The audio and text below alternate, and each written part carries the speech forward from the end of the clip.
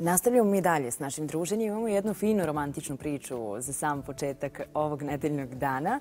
E, malo ćemo pričati o svim onim ljudima koji uvijek tako maštaju o onoj savršenoj osobi i ljubavi za sva vremena, pa sam da kasnije desi onaj romantični iz nježnosti u vidu prosidbe koja je nešto drugačije od onog na što smo već navikli.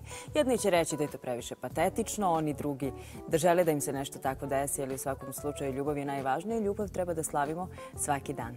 E, Dražana Božić ima priču za nas.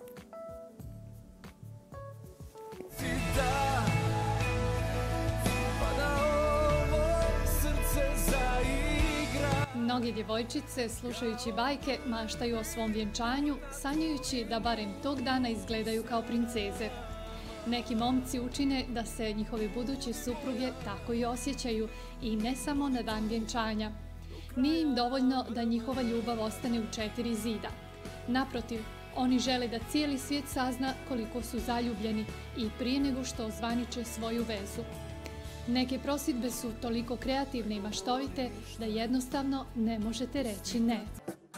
Božidar i Darija nisu imali publiku, ali je Božidaru svakako dobrodošla pomoć prijatelja, snimatelja i muzičara. U suštini mi nismo nešto romantični, mi smo samo zaigrani. Jednostavno ostao ta neki dječji duh u nama i volimo, volimo iznenađenja. Tada sam imao tremu, čak sam imao više nego, nego na vjenčanju, jer mislim da na vjenčanju je mlada u fokusu. Mladoženja to je jednostavno fin detalj, dekor.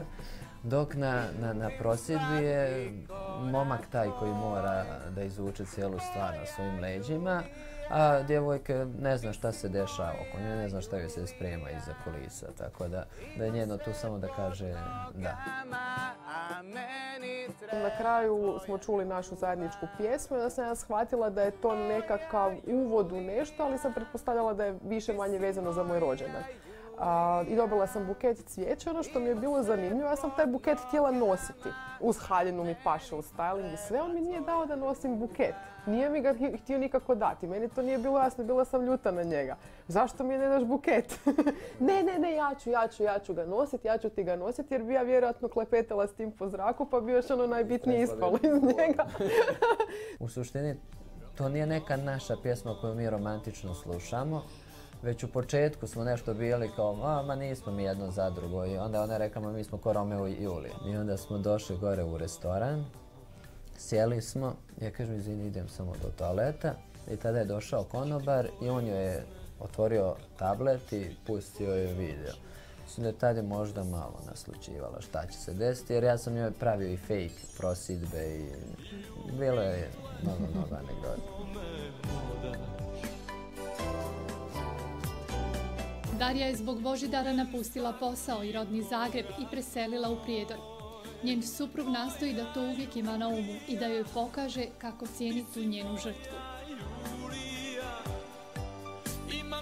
Pa ja mislim da ne treba, ne treba staviti u fokus samo strasti sebe. Jer ako hoćeš imaš srećnu ženu, onda ti trebaš činiti da ona, da ona bude srećna. Naravno, Darija neće uvijek biti srećna. Imamo i mi sve tužne, depresivne momente. To je, to je sve normalno, ali bitno je ulagati u, u ženu. Svakog petka pred vikend da joj kupim po jedan cvjetić, bilo šta. I to, to sam ja počeo praktikovati, jednostavno da ona zna da je ona i dalje moja žena i da i dalje vrijedna i da i dalje volim, samo više i više, jer polako mi, mi kako se zove, stapam, stapaju se dvije priče u jednu. I ako ću ja nju zanemariti, ako ona neće osjećati pažnju, onda će sve ovo ovdje biti i ružno, i odvratno, i neprivlačno, zato što je izgubila onaj razlog zbog koga je došla. Nije ona došla ovdje zato što joj se svidjela država, zato što je bolji standard nego u Zagrebu. Zagreb je jako lijep grad i to je jedan, jedan vid žrtve što ona podnijela. Tako da trebamo staviti fokus na zajedništvu, na porodici, na, na tom odnosu. Jer okolina, sredina, to, to se sve isčefi da je najveći, da je New York, to prođe, navikne. Sa ljubav je nešto što ostaje. Na sreću, ove prosidbe su imale srećan epilog. Ipak nije uvijek tako. Maštaju djevojke o romantičnoj prosidbi, bilo da intimna ili javna, Ali ako se ipak odlučite da svoju dragu zaprosite javno, dobro razmislite da li ona može da podnese toliku pažnju i eksponiranje u javnosti, da ne biste ostali bez nje ili, ne daj Bože, zaradili poneku čvorugu. Ako je vaša ljubav tolika da jednostavno morate podijeliti sa cijelim svijetom, onda recite to glasno, baš u tom trenutku. Inače će taj trenutak zauvijek proći, kao što bi rekao glavni unak filma Vjenčanje mog najboljeg prijatelja.